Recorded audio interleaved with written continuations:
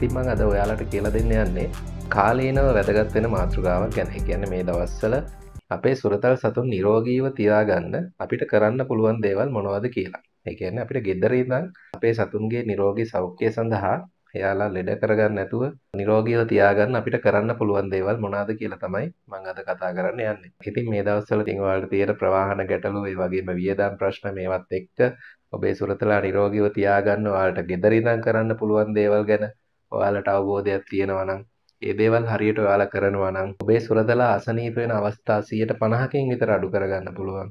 ඒ වගේම වෛද්‍යවරයෙක් වෙත යන අවස්ථා ගණනත් ගොඩක් වෙලාවට අඩු කරගන්න පුළුවන්. ඉතින් ඔයාලගේ සොරතලාගේ නිරෝගී පැවැත්ම සඳහා ගෙදර ඉඳන් කරන්න පුළුවන් දේවල් මම කිහිපයක් ඔයාලට කියනවා. ඉතින් මේ දේවල් හරියට ඔයාලා කරනවා නම් අනිවාර්යයෙන්ම ඔයාලගේ සොරතලා නිරෝගීව සිටිනවා. ඔයාලට ඩොක්ටර් කෙනෙක් ගාවට යන්න තියෙන අවස්ථා ප්‍රමාණයත් අඩු වෙනවා. ඉතින් අපි දන්නවා ඔයාලගේ සොරතලුන් ඔයාලා හදන්නේ ළමයි වගේ. ඉතින් දරුවෝ වගේ හදන්නේ. ඉතින් ඒගොල්ලෝ පොඩි අසනීපයක් වුණත් ඔයාලා ඒ ගැන කලබල වෙනවා. අපිත් එහෙමයි. අපිත් පොඩි අසනීපයක් වුණත් අපේ සොරතුරුන් ගැන ගොඩක් හොයලා බලනවා. ඔයාලගේ සොරතලා නිරෝගීව ඉන්නවා කියන්නේ ඔයාලගේ හිතටත් ඒක සැනසීමක් සතුටක්. පළවෙනි කාරණේ තමයි අපේ සොරතලුන්ට කලට වෙලාවට නිවැරදි මාත්‍රාවේ පණු බෙහෙත් දෙන්න ඕනේ. ඉතින් මේක හැමෝම දන්න දෙයක්.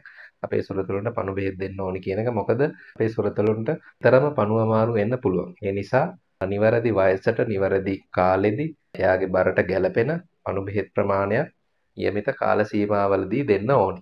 ඉතින් මේ පණු බෙහෙත් දෙන එක සම්බන්ධයෙන් ගොඩක් විස්තර සහිතව මම වීඩියෝ එකක් කරලා තියෙනවා. ඉතින් ඔයාලට පණු බෙහෙත් දීලා නැත්නම් ඔයාලගේ සුරතලාට පණු බෙහෙත් දෙන්න ඕනේ කොහොමද කියලා විස්තර බලා ගන්න. ඒ වීඩියෝ එකට ගිහිල්ලා ඒ වීඩියෝ එක බලන්න. ඒකෙන් ඔයාලට පණු බෙහෙත් දෙන විස්තර සම්පූර්ණ විස්තරයක් දැනගන්න පුළුවන්. ඉතින් මම මේ වීඩියෝ එකේදී මේ කරුණු ටික කෙටියෙන් තමයි කියන්නේ. වැඩි විස්තර අවශ්‍ය අයට ඒ සම්බන්ධව මම කරපු වීඩියෝස් තියෙනවා. ඒව බලලා වැඩි අවබෝධයක් ගන්න පුළුවන් මොනවද ඔයාලගේ සුරතලා වෙනුවෙන් ඔයාට කරන්න තියෙන්නේ කියලා. ඊළඟ කාරණාව තමයි කලට වෙලාවට ඔයාලගේ සුරතලාට එන්නත් ටික දීලා තියන්න.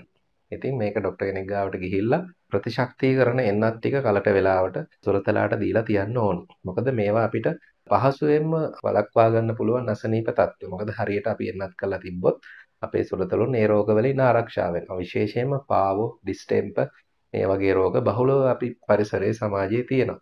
ඉතින් මේ ලෙඩ රෝග වලින් මේ අමාරු කාලයේදී ඔබේ සොරතලා ලෙඩ වුණොත් ඒක ඔයා ගොඩක් අපහසුතාවයට පත් වෙන දෙයක් වෙනවා මේ අමාරු කාලයේදී. මොකද ඉතින් මේ එන්නත් විදින එක ගැන සම්බන්ධවත් මම වැඩි විස්තර සහිත වීඩියෝ එකක් කරලා තියෙනවා. ඒ වීඩියෝ එකට ගිහිල්ලා ඔයාලට වැඩි විස්තර අවශ්‍ය නම් බලා ගන්න පුළුවන්. එන්නත් කරන්න ඕනි කාල සීමා කොයි මොන වගේ එන්නත්ද දෙන්න තියෙන්නේ එන්නත් දෙන්න ඕනේ වයස් මේ හැම දෙයක්ම මම ඒ වීඩියෝ එකේ දාලා තියෙනවා. ඔයාලට ඒ වීඩියෝ එක බලලා වැඩි විස්තර දැනගන්න පුළුවන් එන්නත් කරන එක ගැන. ඊළඟ කාරණාව තමයි අපේ සුරතලුන්ගේ මැක්කන් කිනිතුල්ලන් මර්ධනය කළා අපි ඒගොල්ලන්ගව නිරෝගීව තියාගන්න ඕනේ. මොකද මැක්කි මැක්කෝ කිනිතුල්ල වගේ පරපෝෂිතයෝ ඉන්නවා කියන්නේ ඒක අපේ සුරතලුන්ගේ සෞඛ්‍යයට අවදානමක්. මොකද අපේ සුරතලුන්ට ගොඩක් ලෙඩ රෝග බෝ වෙන ක්‍රමයක් තමයි මේ මැක්කෝ කිනිතුල්ලෝ ඉන්න එක. අපිට පුළුවන් ලෙඩ රෝග එන්න කලින් අපේ සුරතලුන්ගේ ඇඟේ මැක්කෝ කිනිතුල්ලෝ ඉන්නවද බලලා මේ වගේ පරපෝෂිතයෝ ඉන්නවනම් ඒකට සුදුසු ප්‍රතිකාරයක් කළා ඒගොල්ලෝ නිරෝගීව තියාගන්න. විශේෂයෙන්ම කිනිතුළු වුණ, ඒ කියන්නේ ටික් ෆීවර්. මේක බොහොම භයානක රෝගයක්. සමහර අය මරණයට පවපත් වෙනවා. ඉතින් අපිට මැක්කෝ කිනිතුල්ලන්ගෙන් අපේ සුරතලුන් ආරක්ෂා කරලා තියාගත්තොත් මේ වගේ බොහෝ රෝග වලින් අපේ සුරතලුන් ආරක්ෂා කරගන්න පුළුවන්. ඊළඟ කාරණාව තමයි එයාලගේ පෝෂණය ගැන සැලකිලිමත් වෙන්න ඕන. ඉතින් සුරතලෙක්ට අවශ්‍ය පෝෂණ ක්‍රමයක් තියෙනවා. විශේෂයෙන්ම පෝෂණය ගැන ගත්තම අපේ සුරතලාගේ බ්‍රීඩ් එක ඊළඟට වයස ෆිසියොලොජිකල් ස්ටේට් එක ඒ කියන්නේ ඒගොල්ලෝ ප්‍රෙග්නන්ට්ද කිරි දෙන කෙනෙක්ද එතකොට ඒ වගේ අසනීප සහිත කෙනෙක්ද ඉතින් මේ මේ වගේ දේවල් එක්ක අපේ සුරතලාගේ පෝෂණ අවශ්‍යතාවයන් වෙනස් වෙන්න පුළුවන්. ඉතින් අපිට පුළුවන් ඔයාගේ සුරතලාගේ වෛද්‍යවරයා එක්ක කතා කරලා ඔයාගේ සුරතලාට විශේෂ මොන හරි පෝෂණ අවශ්‍යතාවයන් තියෙනවා නම් ඒවා කවර් වෙන විදියට ඒවා ආවරණය වෙන විදියට මේ දවස්වල හැකි පමණින් පෝෂදායී ආහාර වේලක් ලබා දෙන්න පුළුවන්. ඉතින් පෝෂදායී ආහාර වේලක් ඒගොල්ලන්ට ලැබෙනවා කියන්නේ ඒගොල්ලෝ ගොඩක් වෙලාවට ප්‍රතිශක්ති මට්ටම් හොඳට තියෙනවා. ඉතින් ඒගොල්ලොන්ගේ ශරීරය ශක්තිමත්. ඉතින් අනිකුත් ලෙඩ රෝග හැදෙන්න තියෙන chance එක ගොඩක් අඩුයි. ඊළඟ වැදගත් කාරණය තමයි නාවන එක. නාවන එකත් ගොඩක් වැදගත්. මොකද සමහර සතු නාවනවත් එක්ක නාවන එකේ ගැටලු නිසා අසනීප වෙන අවස්ථා තියෙනවා. ඉතින් ඒ නිසා නාවනකොට අනිවාර්යයෙන්ම නිතර නිතර නාවන්න එපා. සුරතලුන් නිතර නිතර නෑවීම සුදුසු නැහැ. නාවනකොට සාමාන්‍යයෙන් අපි කියන්නේ දවස් 5කට සතියකට වතාවක් නෑවුවම ප්‍රමාණවත් කියලා. මේකත් සුළු සුළු වශයෙන් වෙනස් වෙන්න පුළුවන්. විශේෂයෙන්ම ගොඩක් සීතල පළාත්වල ඉන්න ඔබේ සුරතලා නිතර නාවන එක එතරම් සුදුසු නැහැ. ඉතින් ඒ වගේ වෙලාවට සතියකට සති දෙකකට සැරයක් නෑවීම ප්‍රමාණවත්.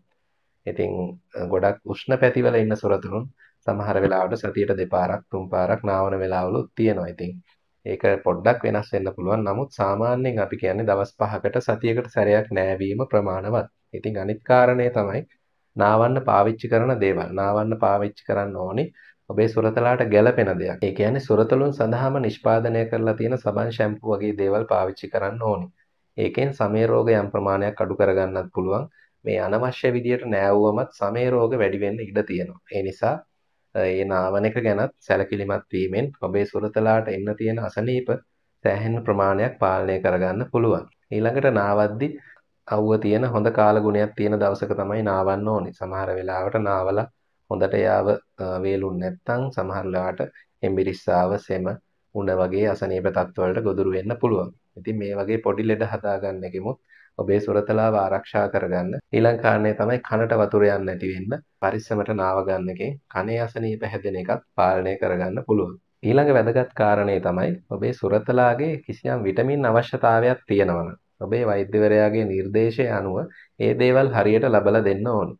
වර්ධනය වෙන අවධියේදී අපි ගොඩක් වෙලාවට විශේෂයෙන් බලු පැටවුන්ට ඊළඟට ගොඩක් වෙලාවට ලාර්ජ් බ්‍රීඩ් ඩයට් නම් අනිවාර්යයෙන්ම මේක සැලකිලිමත් වෙන්න ඕනේ. මල්ටිවිටමින් සප්ලිමන්ට් ඊළඟට මිනරල් සප්ලිමන්ට් විශේෂයෙන් කැල්සියම් වගේ ඊළඟට ස්කින් සප්ලිමන්ට් මේ වගේ දේවල් අපි නිර්දේශ කරනවා ගොඩක් වෙලාවට වර්ධන අවධියේ ඉන්න බලු පැටවුන්ට.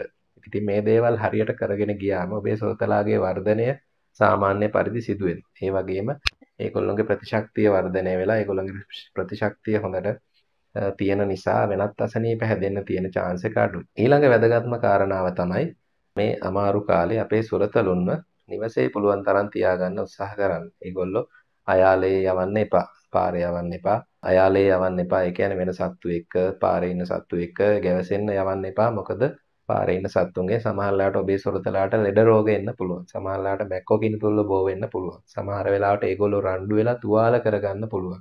පාරට ගියාම සමහරලාට වාහනයක වැදිලා ඇක්සිඩන්ට් එකක් වුණත් වෙන්න පුළුවන්. සමහරලාට කාගෙන් හරි සමහර වෙලාවට වෙනත් අනතුරක් වෙන්න වුණත් පුළුවන්.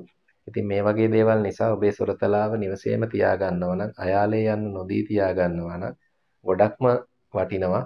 මොකද මේ අසනීප වෙන්න තියෙන අවස්ථා අනතුරු කරගන්න තියෙන අවස්ථා ගොඩක් අපිට අඩු කරගන්න පුළුවන්. ඉතින් මේ අමාරු කාලේ ඔබේ සොරතලාව ආරක්ෂා කරලා තියාගත්තම ඒක ඔයාටත් ලොකු සහනයක්. ඉතින් මං හිතනවා මේක ගොඩක් උදව් වෙන්න ඇති. ඔයාලට යම් දැනුමක් ලබා ගන්න. ඉතින් සියලු දෙනාටම සුබ දවසක්.